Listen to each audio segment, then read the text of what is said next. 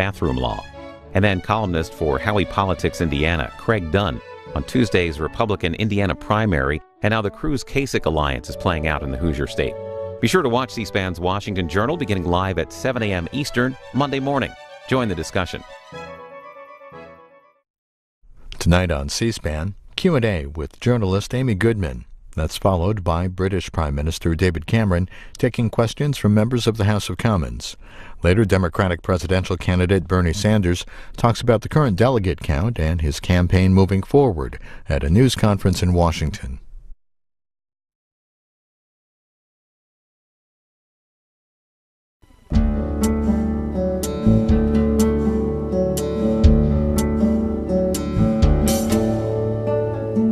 This week on Q&A, Democracy Now! host and executive producer Amy Goodman. She talks about some of the stories and people Democracy Now! has covered over the past 20 years.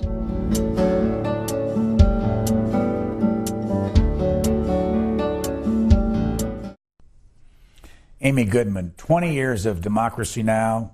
and you say going to where the silence is is your motto. Explain that.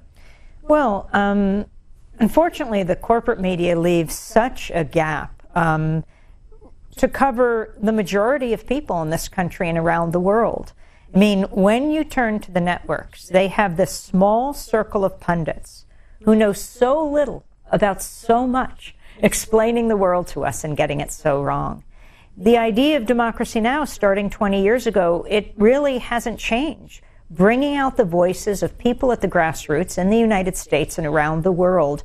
And they very, repre- very much represent, I think, the majority of people. I mean, I think people who are concerned deeply about war and peace, about the growing inequality in this country, um, about climate change, the fate of the planet, are not a fringe minority, not even a silent majority, but the silenced majority silenced by the corporate media, which is why we have to take it back. 20 years ago in February, we had you as a guest on our morning show. Here is a clip four days after you started Democracy Now! I got to ask Amy Goodman about this piece in, in Karl Zinsmeister's magazine why liberals find talk radio so threatening and you're a talk show host and not and not a conservative that's right. Well, I we just started a show this week on Pacifica Radio called Democracy Now, which is the only grassroots national daily election show, bringing the voice of the grassroots into the national political discourse. Uh, I haven't even read the article why liberals find talk radio so threatening. I find talk radio. Uh, I haven't. I don't get to hear a, a lot of uh, talk radio because I'm doing it a lot myself. But I think a lot of what we're hearing, uh, what I'm reading uh, about what's being said, uh, is a lot of hate mongering. What's the difference between Democracy Now, the, the one hour program you do every day, today, than what it was like back 20 years ago? Well, first of all, we were on nine uh, community radio stations in 1996. And by the way, Brian, when you invited me on, we started in Washington, D.C. at the Pacifica radio station there, WPFW. I thought you'd gotten a wrong number. I mean, that was the first time I was ever invited on television. It was four days after our first broadcast, February 19th, 1996. Uh, and it was really remarkable, but in a sense, the mission hasn't changed. That was 20 years ago on nine stations. Uh, now we're broadcasting on over 1,400 not only community radio stations, but public radio stations, NPR stations, on public access TV stations around the country, on PBS TV stations around the country, and also all over the world. We broadcast on television and radio in Sweden and Japan and South Africa, throughout Latin America. Our headlines are translated into Spanish for the Spanish speaking U.S. audience as well as people around the planet. Um, and I think the growth from nine stations to 1,400 is a testament to the hunger for independent voices. Um, people on the ground who are deeply involved in their communities, not having the pundits on uh, describing experiences they often don't know about, but people themselves. That's just plain old hard work. And I want to just pay tribute to all the remarkable producers and journalists and videographers um, who have worked at Democracy Now! because it's that digging every day uh, to bring people to a global audience who are speaking in their own words. There is nothing more powerful. I mean, the we're on television and radio equal number. At the time we started on Pacifica, and it's really instructive to look at Pacifica's history. Founded in 1949, Berkeley, California, a war resistor named Lew Hill came out of the detention camps and said, There's got to be a media outlet that's not run by corporations that profit from war, but run by journalists and artists. And that's how Pacifica was born, as George Gerbner, the late dean of the Annenberg School of Communications at the University of Pennsylvania, said. Not run by corporations that have nothing to tell and everything to sell that are raising our children today. And so the first station was KPFA in Berkeley in 49, the second station, KPFK in Los Angeles in 1959. My station here in New York is WBAI. 1960 it went on the air. In 1977, WPFW in Washington.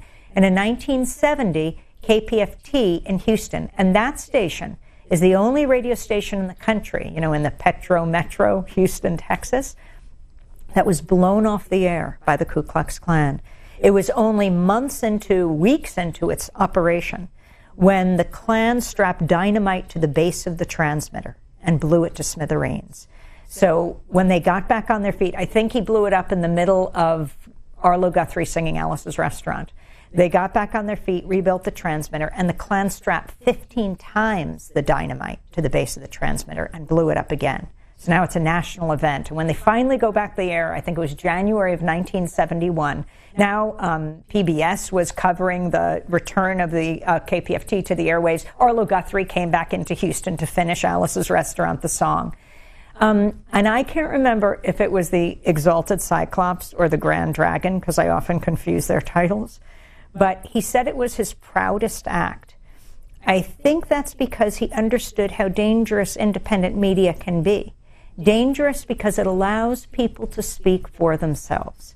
And when you hear someone speaking from their own experience, whether it is a Palestinian child or an Israeli grandmother, whether it's an Iraqi uncle, an aunt in Afghanistan, whether it's a child in the South Bronx or in Ferguson, Missouri, that breaks down stereotypes and caricatures that fuel the hate groups. That's why it's a threat.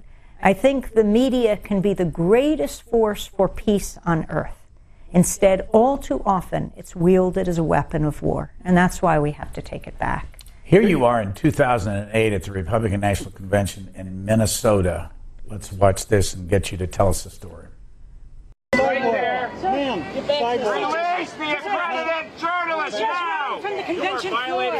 My constitutional right. You now. Sir, I want to talk to you. Arrest him! Do not arrest me. Right, sir. Go right there. You're under arrest. Stay right there. Back up. Back up. Hey guys, if you cross this line, you'll be under arrest, so don't do it.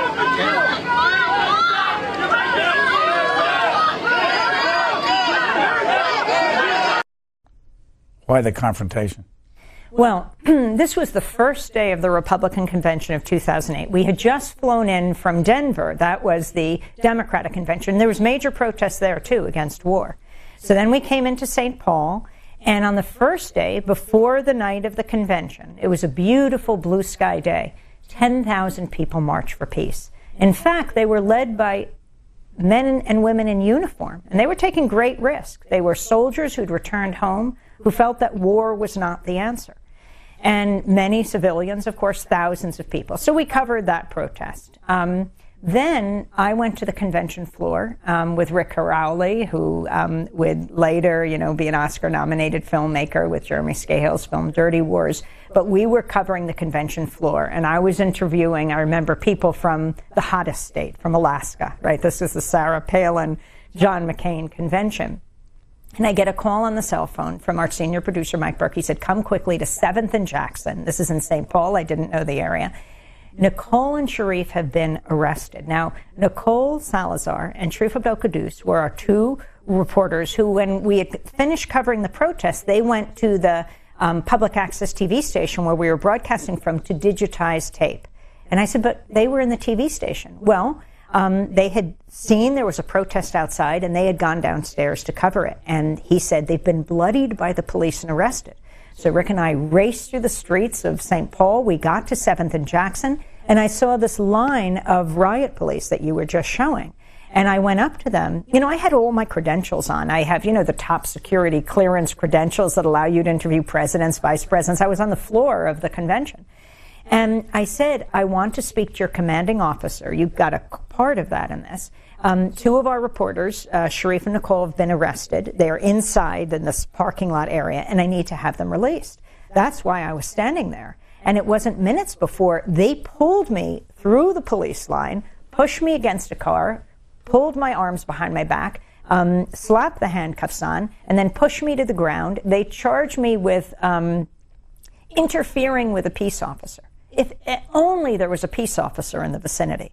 I'm still desperately looking from my vantage point on the ground for Sharif and Nicole, who I heard were hurt and arrested. And I saw a, a uh, Sharif across the parking lot. I demanded to be brought to him. They finally did, though I was still in handcuffs. So we're both standing there. His arm is bleeding with our handcuffs on, with our credentials. And so we were saying, we are journalists. We want you to release us now. And then the Secret Service came over and ripped the credentials from around our necks. I'm taken into the police wagon. There I see Nicole, whose face has been bloodied. I said, Nicole, what happened? How did you get arrested? And she said, We were in the TV studio. We saw right outside riot police and protesters. We ran down with our video camera and microphone to start recording. They would not have been doing their jobs if they just stayed in the TV studio. So they're in this parking lot, and she was against parked cars, and the riot police came at her. I mean, this was a completely contained area at this point and they were shouting on your face. And they were saying that she had to move but she said where? Where? She was against parked cars she didn't know what hit her. From behind her and in front of her they came. And they took her down. The first thing to go down was the camera tumbled down. The first thing they did was take the battery out of her camera. If they if you want to know what they wanted to stop happening the recording. They had their knee or boot in her back and um, her face in the ground, and they're starting to drag her, which means they are her face is being dragged along the ground. Sharif is telling them to calm down, and they take him and they throw him up against the wall. They kick him twice in the chest. They punch him twice in the chest, and they take him down. So his arm is bleeding. They faced felony riot charges. So I'm taken to the police garage where they've erected cages to put the protesters in, and Sharif and Nicole are taken to jail. Now, I didn't know it was happening at the time, but there was such an outcry at our arrest. And hundreds, if not thousands, of people were faxing, calling, emailing the authorities to have us released. And a number of hours later, we were ultimately released. First me, then Sharif and Nicole. So then I was brought back to the convention center. It was over for the night. But I was brought into the NBC skybox and I was being interviewed. And when that was finished, an NBC reporter came over and said, I don't get it. Uh, why wasn't I arrested? I said, Oh, were you covering the protests too? And he said, No. I said, Well, that's the thing. I don't get arrested in the skybox either. I mean, it's our job not only to be in the skyboxes, but to get into the corporate suites who's sponsoring these celebrations of democracy, you know, the Republicans and the Democrats, and also to be on the convention floor, interview the delegates, and get out into the streets where the uninvited guests are. And there are often thousands of them they have something important to say as well. And it's our job to get it all. I mean, democracy is a messy thing, but we shouldn't have to get a record when we put things on the record. So that's what happened to us at the convention. Um, we would later sue the St. Paul and the Minneapolis police, as well as the Secret Service. Now, interestingly, the only reason knew, we knew it was the Secret Service who pulled our credentials is that when I turned to the police officer, I said, This is outrageous that you've just pulled our credentials. He said, It wasn't us, it was the Secret Service. So we sued, and the Secret Service wanted to be separated from the lawsuit. First of all, they didn't want to be known who, that they were, you know, there and that they did this. There's all levels of authority at these what are called special national security events. Um, and but we felt it's very critical to send a message that journalists must be protected. I mean, all illegal arrests should not happen. Um, ultimately, it took a number of years. We won a six-figure settlement, but when we got out, it was right before the next convention. We felt it was very important to send a message, and part of it was that the St. Paul police would be trained in dealing with journalists. Um, and so we thought, well, where do we hold the news conference announcing that the settlement has been made? And we just come from St. Paul, the settlement negotiations. So when we went to a large gathering of police and protesters, we went to Zuccotti Park. This was in the middle of Occupy Wall Street. We thought, well, there a lot of police will be and they'll hear. And we'll send out this message um, that you cannot simply arrest journalists because they don't want you to, they don't want, because you don't want them to see, uh, you don't want the public to see what's going on. I mean, we live in a democracy and journalism is extremely important. There's a reason why our profession, journalism, is the only one explicitly protected by the U.S. Constitution because we're supposed to be the check and balance on power. I want to run a clip of a man named Alex Jones who could probably not think any more different than you do. Based in Texas, has his own radio operation, but he's saying somewhat of the same thing you're saying about the corporate media. Again, let's run it and get your reaction to this.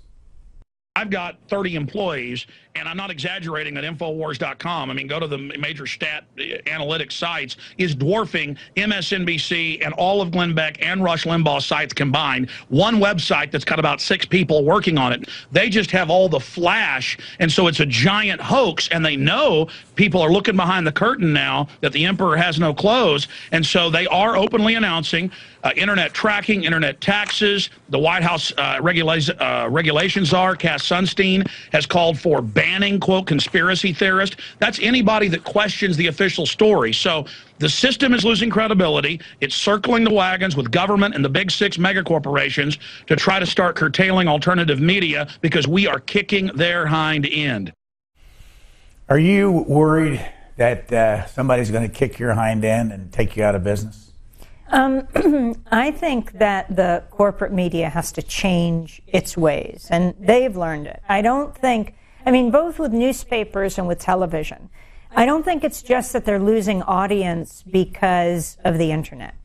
they have for a long time been gatekeepers, preventing most views, most people from being heard. I think this year, with this presidential election, has so, shown so much. I mean, the shock of those on the network uh, TV TV stations uh, when they see thousands of people coming out, for example, for Bernie Sanders. Bernie Sanders, who's very much expressing um, the views of people, for example, who came to occupy Wall Street and other encampments around the country, who were deeply concerned about the growing inequality between rich and poor, and also who was profiting. I mean, what the recent study that shows something like 62, 63 of the richest people in the world, I think something like 42 or 43 of them are Americans, have more wealth than three and a half billion people than half the planet. This is just astounding. And when Occupy Wall Street happened, I mean, the media hardly paid attention at first, but then mocked it. And then when the police eviscerated these encampments that it's all over. What did they represent anyway? They had every, they represented every issue under the sun. And where were their leaders anyway? Well, in a sense, it was not so much a leaderless, but a leader-full movement. And yes, they represented many different issues because people were so frustrated with the direction that this country was going. And I think that we're seeing these movements on the ground percolating and coming together and coalescing. I mean, President Obama was elected in 2008. Many different movements came together to elect him. Uh, first and foremost, I think the peace movement, because I think that's the reason he was the Democratic candidate. The difference between him and Hillary Clinton was that she was for the war in Iraq and he was against the war. Then there was the environmental movement, racial justice, economic justice movement, gay and lesbian movement, all of these different movements together. Now, they accomplished something historic, the first African American president this country uh, has ever known, which is absolutely astounding with a country with a legacy of slavery.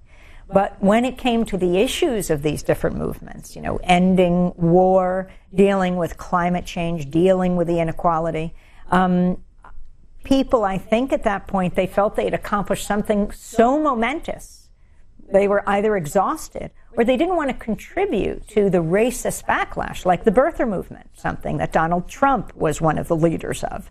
But the suggestion that, oh, President Obama, look at what he looks like, he couldn't come from here. I mean, it's so ridiculous.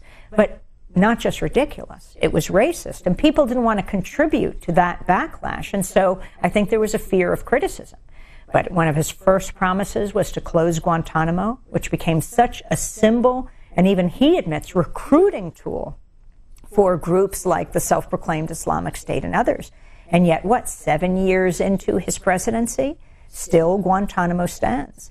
And though the Congress has not helped, there are a number of executive actions he could have taken along the way to ensure that this, um, you know, extra outside of the reach of U.S. law, but run by the United States prison um, uh, would be closed. Astounding, most recently, that President Obama was in Cuba, the first president, a sitting president, in 88 years to go, and he's talking to uh, the Cuban president, Raul Castro, about human rights. Yet just down the road, I mean, if the U.S. is presenting a model, in a little corner of Cuba, the U.S. does lease land. And what does it do with it? It's got Guantanamo where 91 men still languish, many approved for release for decades, even back to the Bush administration, many held for more than a decade without charge. It is a very painful lesson what the U.S. has come to represent to the rest of the world. What do you think somebody has to do in order to label themselves a journalist? And as you know, you've got very strong views, and there's never any doubt what you think. But couldn't just anybody in our society say, I'm a journalist? and I want uh, credentials and I should have access to everything? I mean, I think the whole citizen journalism movement and non citizen journalist movement has been extremely important because for so long the mainstream media didn't go to places on the ground. They had that elite group of pundits. And so they were missing so much of the story. I mean, I think about Ferguson. Now, the networks did go to Ferguson, to their credit. This is after Michael Brown was killed by Darren Wilson, the police officer. And they showed people being tear gassed. They showed the militarization of police.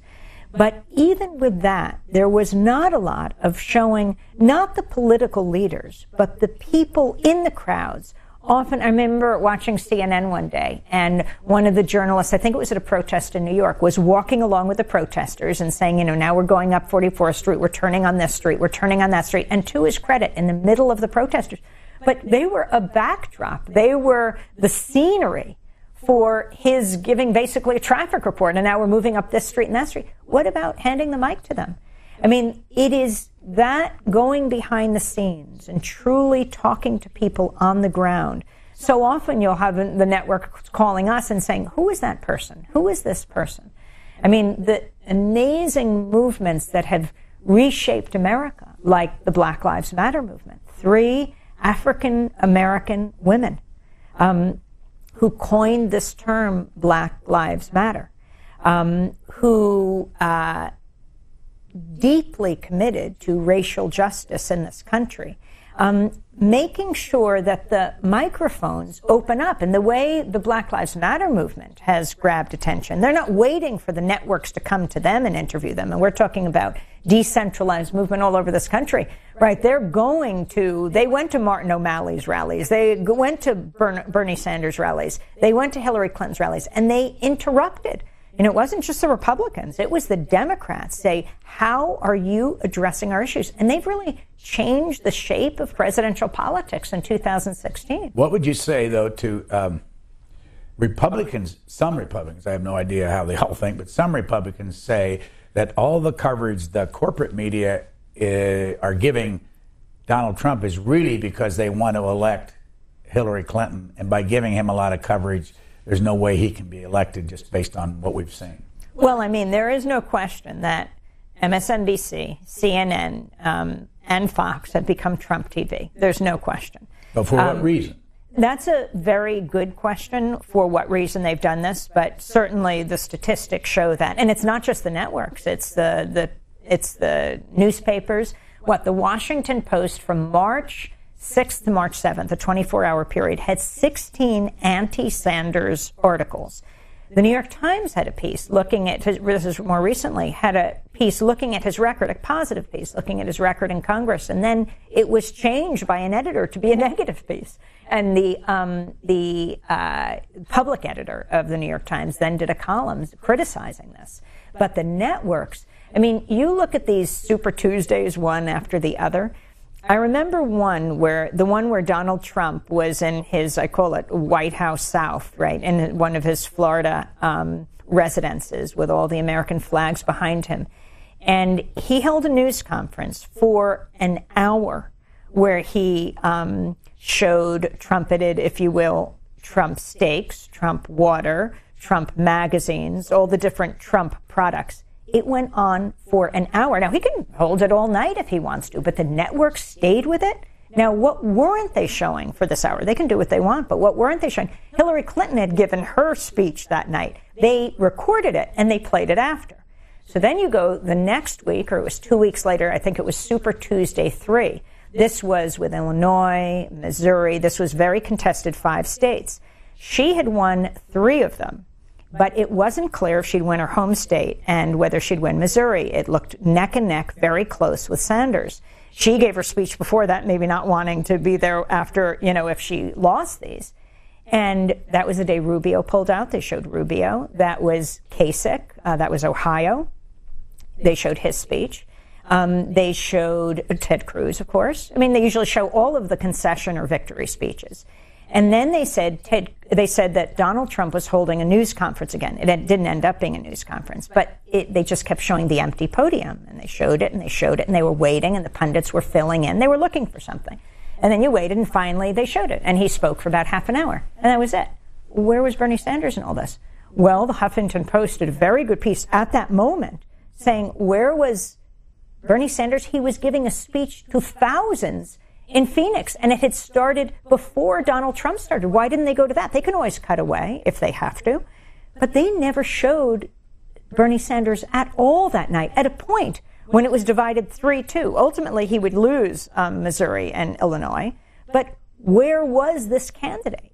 And the networks just brought you the others, but particularly, I mean, what? The Tyndall Center did a report in 2015. He got 23 times more coverage than Bernie Sanders. Uh, and the networks make these decisions. He doesn't need to go to every community because he's being um, he's being channeled into everyone's home in a way that others aren't. And that has to be challenged. It's also why we need independent media going to where what we say the silence is, which by the way isn't always so silent. It's just that the networks aren't shining their spotlights there. Go, again, go back to motivation. Take the corporate media and why do they do what they do? And then go back to the Republicans who think the corporate media is trying to get Hillary Clinton elected by covering Trump so much?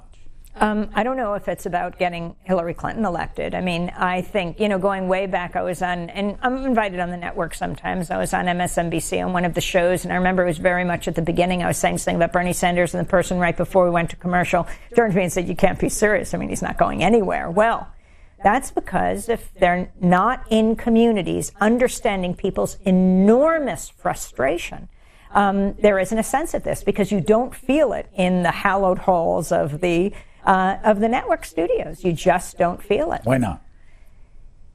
They're not in touch, and they're, they're making lots of money. They are, and I think the reason that you don't have a questioning of how money is drowning politics, drowning our democracy, um, is because these networks are making so much money, and especially in an election year. Hands down, you know, the less coverage they do, the more the politicians need to, you know, pay money for their ads. But they're furnishing whole studios, they're upgrading studios because they're getting money from these ads. I think that is a huge problem. I think the campaigns shouldn't have to raise money for ads. They should have some allotted time on television. I mean, this has to all be worked out.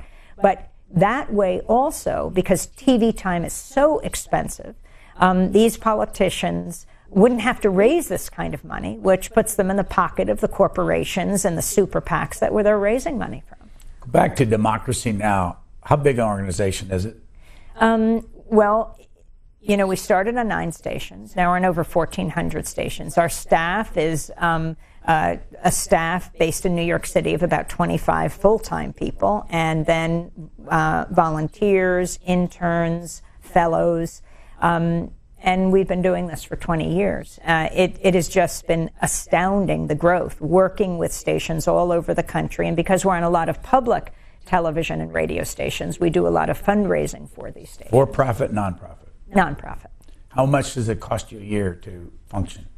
Um, I don't know the exact budget, um, but uh, it is, you know, it is to cover the news all over the world, to maintain the staff. But I don't know the exact budget. I would. Is it going to be six, seven million? Yes, it's in that range. And where do you get it?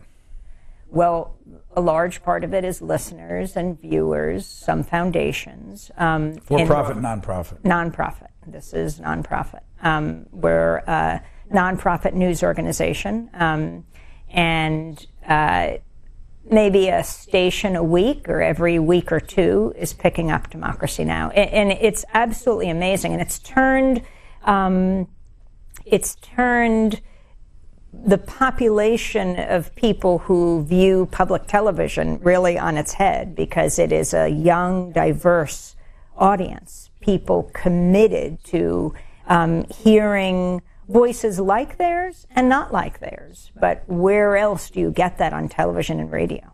Here are two people that you know well uh, David Goodman and uh, a man uh, that's also on the cover of your, of your uh, book, Dennis Moynihan. Let's watch them, and uh, I'll ask you about them.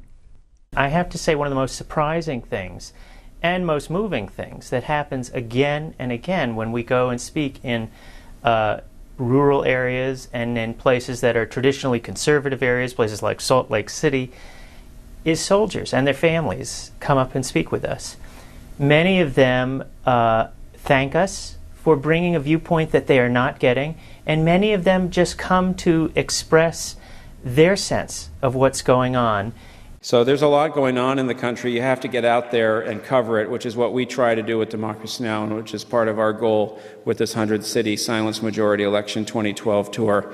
Um, really, it, at, at, its heart are the, the wonderful constellation of community media institutions that broadcast Democracy Now!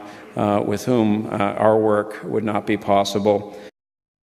You don't say much about it, but isn't Dennis Moynihan your husband? No. He's not. No, no. He is married, but he lives in Denver. I wonder why that that is that, that is stated somewhere on the internet. No, well, somewhere on the internet. Yeah, I, mean. I, that's why I'm asking you. And I say at universities and colleges in particular, you've got to double, triple, and quadruple check everything um, uh, that you see on the internet. Um, uh, David is my brother, a great journalist who lives in Vermont, and um, uh, Dennis is my colleague at Democracy Now!, who's been there since 2000. He lives in Denver, Colorado, with his wife, and um, he has really helped to build Democracy Now! to what it is today.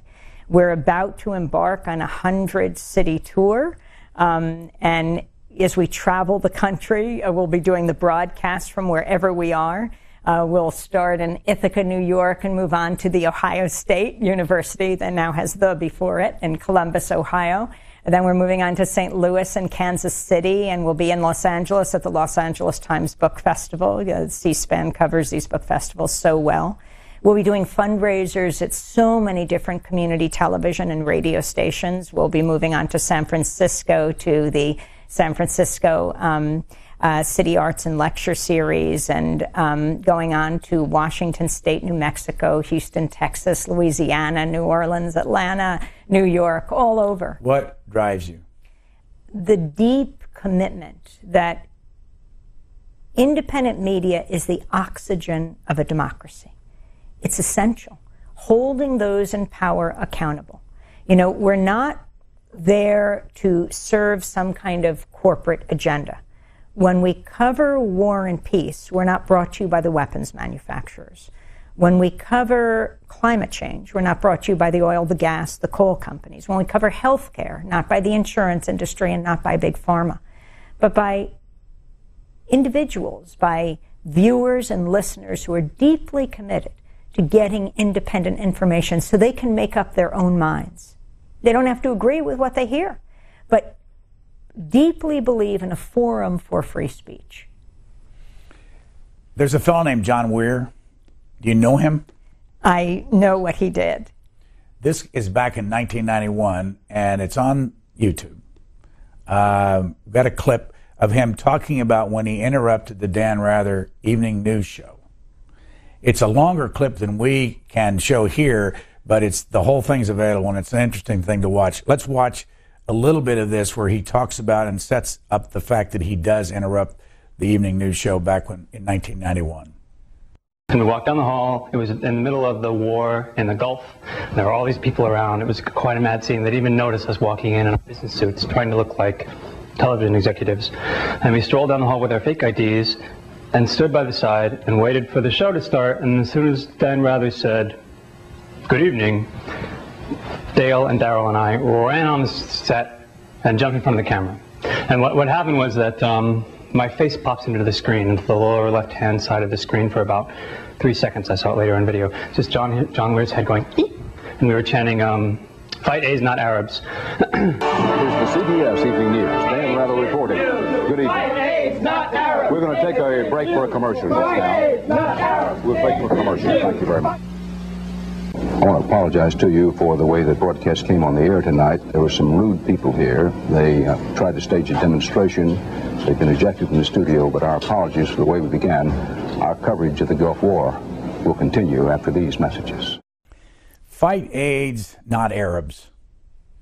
I mean, this is a, such a powerful movement, which we document in our book, Democracy Now! 20 Years Covering the Movements Changing America.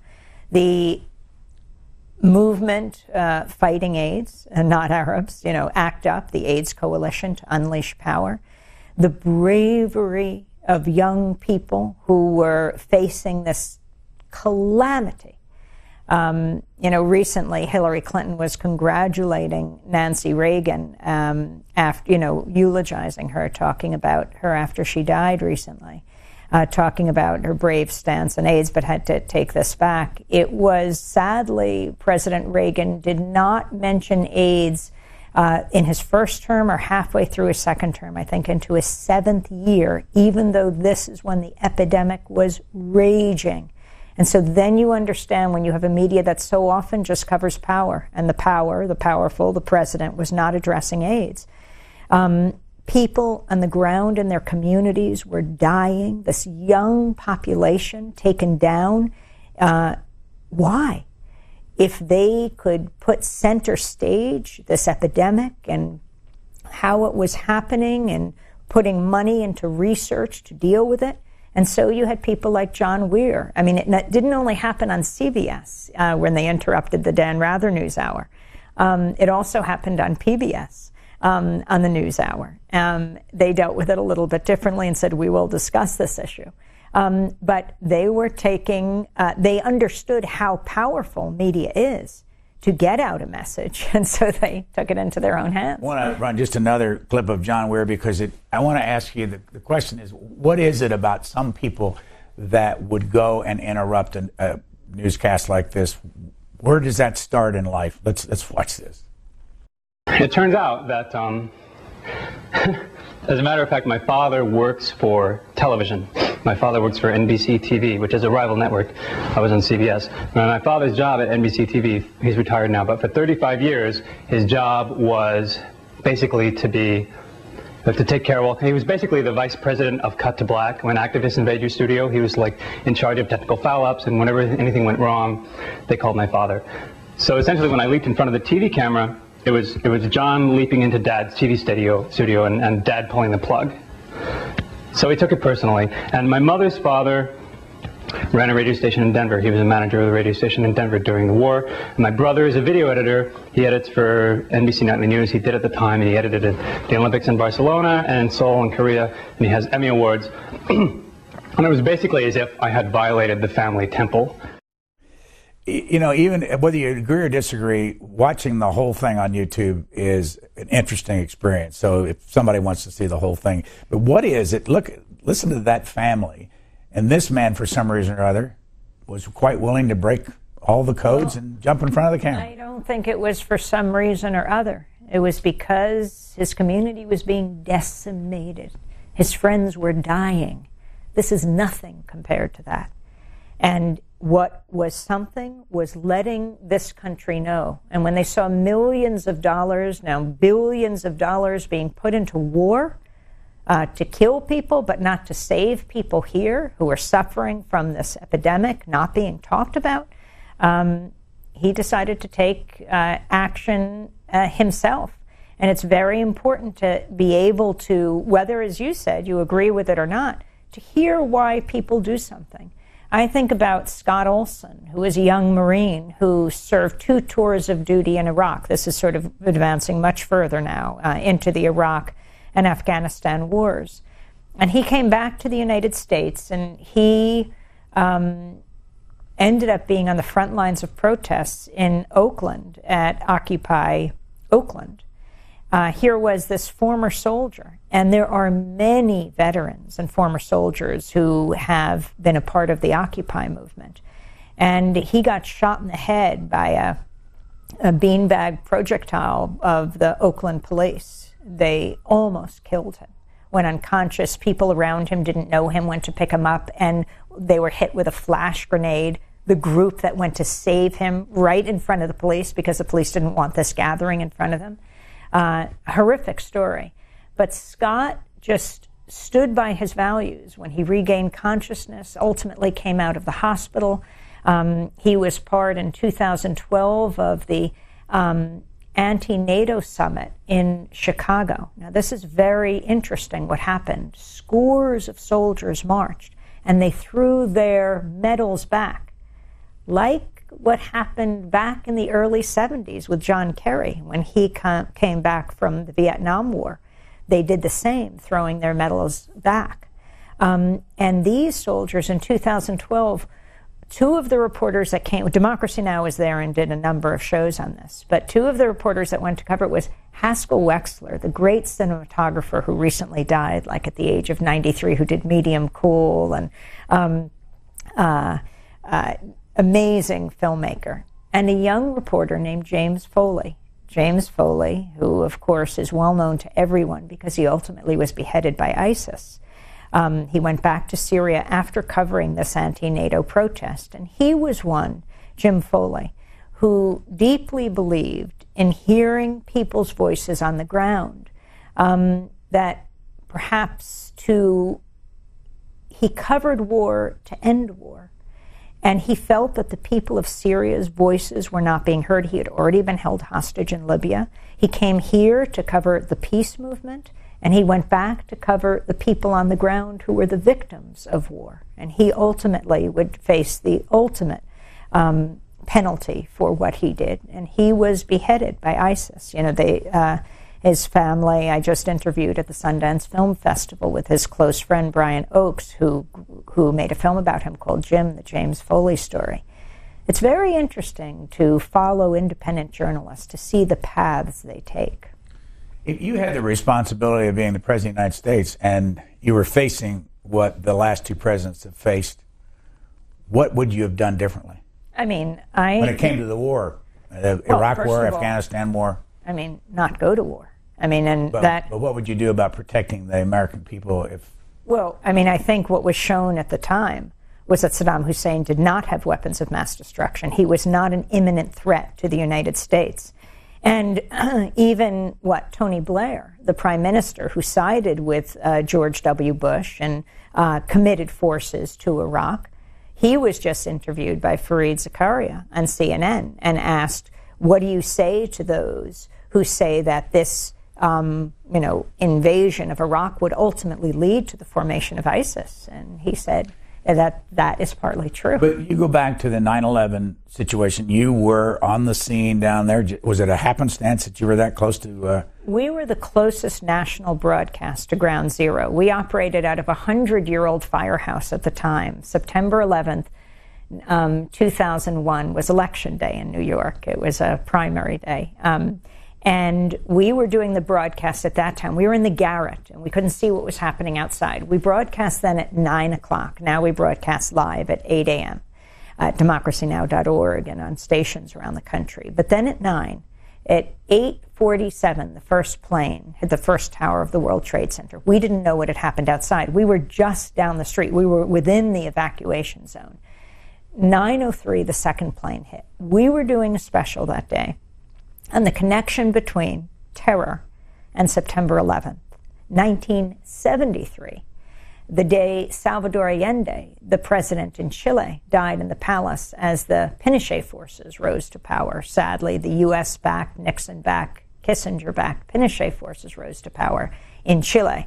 Uh, Pinochet would ultimately take control, 17 year reign, killed thousands of Chileans and other Latin Americans. That's what we were looking at on September 11th, and this happened. We just continued to broadcast on September 11th, 2001. We, the firehouse was opened up. It was a decommissioned firehouse, and they were providing water to people, phones so they could call their families. We were just interviewing people as they came in um, through the day and broadcast um, to whoever was taking our broadcast. And then we stayed inside the firehouse for the next days because we were within the evacuations, evacuation zone, and I felt if we went outside, I was afraid that the police would force us out because um, that's what they were doing to people in that area. But it was critical to keep on broadcasting because what was being projected to the rest of the world, the reaction, I think, was very different from what was happening on the ground. People streaming into parks, holding candles, comforting each other. It was not a cry for war. In fact, there was a little sticker that Artists Against War put out all over that said, our grief is not a cry for war. And I think that much more expressed the sentiment. We were interviewing people like the late great historian Howard Zinn, who wrote People's History of the United States, who was saying we should be sending nurses and doctors into Afghanistan, not soldiers. Imagine how the world would respond differently. Uh, you know, what happened on September 11th was horrific. 3,000 people incinerated in an instant. We'll actually never know how many people died on that day because those who go uncounted in life go uncounted in death. And they're the undocumented workers and folks who lived in that area or worked there. So, as we watch ISIS grow, do you suggest that that was caused by us? I mean, I think it is, um, many people feel uh, including those like Tony Blair, um, including you've heard the president refer to this, um, that you are seeing a growth of a force that came out of the destabilization of Iraq. I mean, Saddam Hussein, there's no question he was a tyrant, but he was not a threat to the United States. And also, how did he stay in power for so long, this tyrant who is oppressive to his own people? I mean, remember that handshake of Donald Rumsfeld and uh, Saddam Hussein as the U.S. was um, providing support and financial support for Saddam Hussein under George H.W. Bush. My colleague Jeremy Scahill did a great job with showing this and showing that image. So for a long time, the U.S. was supporting Iraq and Saddam Hussein. Uh, then they turn against Saddam Hussein. He didn't have weapons of mass destruction. Why weren't we waiting for the UN weapons inspectors who were saying, wait? I mean, Hans Blix and others saying, wait, let us do our work. But President Bush was intent on attacking Iraq from almost the minute, uh, give it a day or two, after September 11th. I mean, you hear his national security, you know, his national security czar and others saying he was talking about Iraq when we understood full well this wasn't coming from there. I mean, another issue that is a kind of sacred cow with the media that must be challenged is the questioning of Saudi Arabia and the role that it has played over the years. I mean, if you ask most people who was in those planes that were um, that went into the World Trade Center, you would think, given the response of the United States, that it was Iraqis. 15 of the 19 hijackers were from Saudi Arabia. And what did President Bush do at the time? You know, he's on the Truman balcony smoking a cigar with the Saudi ambassador to the United States within a few days. And what are they doing when all planes are grounded? Uh, this fully documented. What's the motive then of George uh, W. Bush they, in relationship to the Saudis? I mean, well, they were intent at the time on attacking Iraq. There is a joke of a little boy saying to his father, What's our oil doing under their sand? It's not our oil. But what's the motive if you're George W. Bush? Do you really want to go to war? Do you want to? You really want to see our own Americans killed over there? I mean, what's what's the reason? It's a very good question. Why President George W. Bush? Why Vice President Cheney? Why Secretary of Defense Donald Rumsfeld? Uh, why they committed so many innocent lives in this country. Think about the soldiers who went to Iraq, deeply committed to securing the United States. Why were they sent to Iraq? That is a very serious question. You know, interestingly, one of the people who uh, signed up to be in the military, who ultimately wasn't, was Edward Snowden, one of the great whistleblowers of our time. Uh, he ended up having both his, his legs were broken in training, and he didn't go into the military. Uh, ended up working with the NSA, but had a deep commitment to the United States and ended up showing it in a different way. But from your perspective, though, why do you think? I mean, are, was Don Rumsfeld and George W. Bush and Paul Wolfowitz were they evil people? I mean, when you look at the actions they engaged in were they evil actions, committing so many lives, leading to the loss of not only American lives, but lives in Iraq and Afghanistan? It's horrific what has happened. And but we are talking. Why do you think? What motivated them to do it? I mean, that's the. The question that's never been answered, and obviously you were against it from the beginning, and you demonstrated before it even started. But what's the because reason? That was a matter of saying, what would be the reason after the September 11th attacks, when we were harmed so seriously, we would attack a country who had nothing to do with the September 11th attacks. I do not know why they were so intent on taking out um, Saddam Hussein from Iraq. There are many dictators in the world, except the countries that we target are so often uh, have precious resources the U.S. wants to control, for example, like oil. But I think it is more complicated than that.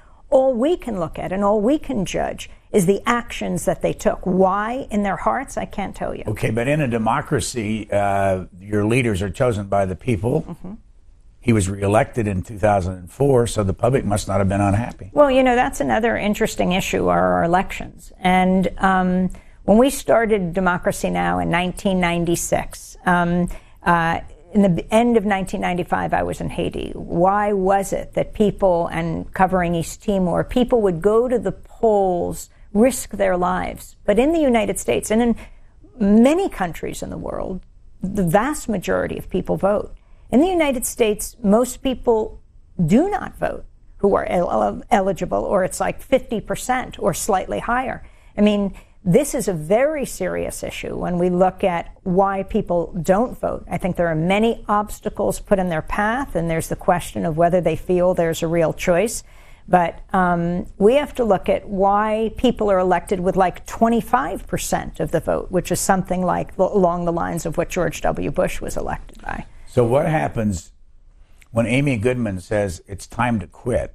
How does democracy now continue? Oh, Democracy Now! is a group of deeply committed journalists and producers, and I uh, co host with different people and work with journalists all over the country and around the world. Democracy Now! is much bigger than me. But still, you're the one that conceived it, and you're the one that's hosted it. Uh, well, I'm the founding host of Democracy Now!, but it will continue because, I mean, there is a new generation of journalists and reporters who are deeply committed to independent media. We are part of an independent media movement in this country and around the world that's much bigger than any one institution. Looking back 20 years, what were the different points along the way where you thought this might not work? I or you were, I didn't think that. Or there was a hiccup. I didn't think that from the beginning. Um, we originally began with Pacifica Radio, then we went independent, and we st- we also expanded to television as well, and it has just continued to grow. I mean, I think being out in this country and around the world, that hunger for independent voices has is just enormous. So that wasn't really something I thought from the beginning. So what can get in your way now from this moment forward? Who are you dependent on? besides the money to keep you going? In other words, the satellite, uh, Dish TV carries I mean, you? from we yes, we're on public radio, public television, community radio stations, public access TV stations on both satellite networks, on Dish Network, Free Speech TV, and Link TV, on both Direct TV and Dish Network, and then around the world. I mean, we pioneered a way to send, and this was because at the time, you know, the networks would spend millions. I mean, even in Saddam Hussein's Iraq, they would pay millions of dollars to use the satellites. Now, we couldn't afford satellites like that. And so we pioneered a way to send broadcast quality video way back um, through the internet. Um, so that we could send it to stations all over, and now, of course, that's commonplace. Is that how they get it on the? They get it through the satellite. or They get- did, but now we use satellites as well. So we use every means necessary to get information out. And you know, the internet is also something we have to fight for to remain open and free, and not to allow the video companies and uh, um, any of the corporate networks to rewrite the rules of the internet so that it's privatized. It's something that was developed with public resources, and it's the great equalizer. It's the way we can talk with each other all over the world. So somebody might have listened to this last hour and said, you know, Amy Goodman is really not a lot different than a United States senator. She just has a different platform. Um, I'm a journalist, and uh, I But what, what is a journalist? a journalist is well i can just say that what i do you know i started as a young person in my uh, uh, not elementary school but junior high school and high school uh, covering what was happening in our school the principal and then i just took it to a larger stage uh, beyond that and it's being there chronicling what's happening digging deep going beyond the he said she said to look at what's happening in the world um, chronicling it, it is not just a matter of different perspectives. Some part of this is just being a forum for people to speak for themselves. And another part is digging deep to get at the truth. And this issue of holding those in power accountable is essential. That's why uh, independent media is essential to any democracy. And I hope we can be a model for people and institutions around the country. So often we have documentary makers coming from all over the planet to chronicle democracy now, to show a model that isn't state media, isn't corporate media, that is truly independent. Got one minute. In 10 years, what do you think you would be saying about the journalism of this country? Um, hopefully, independent media will be the par for the course, that it will be accepted, that it's unusual that you have weapons manufacturers, oil companies, and insurance industries running the essential um, uh, check on power.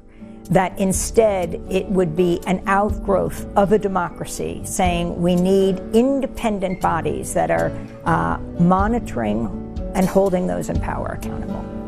Our guest has a book out called Democracy Now! It's 20 years covering the movements changing America, along with her brother David Goodman and her friend Dennis Moynihan. Thank you very much for joining us. Thank you so much, Brian.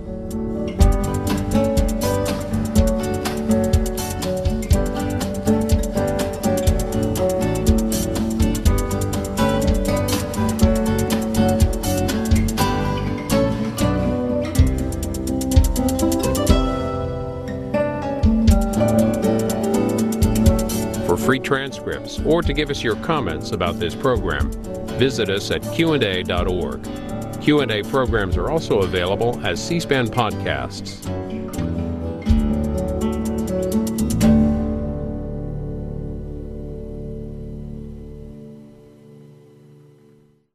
If you enjoyed this week's Q&A interview with Amy Goodman, here are some other programs you might like. Radio talk show host Bill Press talks about his book, Buyer's Remorse, How Obama Let Progressives Down. Artist and author Molly Crabapple on her drawings of the Israeli-Palestinian conflict and the Guantanamo Detention Center. And radio talk show host Hugh Hewitt on his book, The Happiest Life. You can watch these anytime or search our entire video library at cspan.org.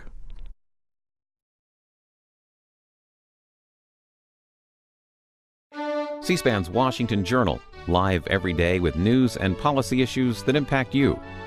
Coming up Monday morning, Mara Keisling, Executive Director for the National Center for Transgender Equality, on the reaction of the transgender community to the North Carolina bathroom law. And then columnist for Howey Politics Indiana, Craig Dunn, on Tuesday's Republican Indiana primary and how the Cruz Kasich alliance is playing out in the Hoosier State. Be sure to watch C SPAN's Washington Journal beginning live at 7 a.m. Eastern Monday morning. Join the discussion. During this week's question time, British Prime Minister David Cameron acknowledged the anniversary of the Hillsborough disaster, which killed 96 soccer fans in 1989. He also answered questions on the refugee crisis, anti Semitism in the House of Commons, and the UK's education system. This is about 35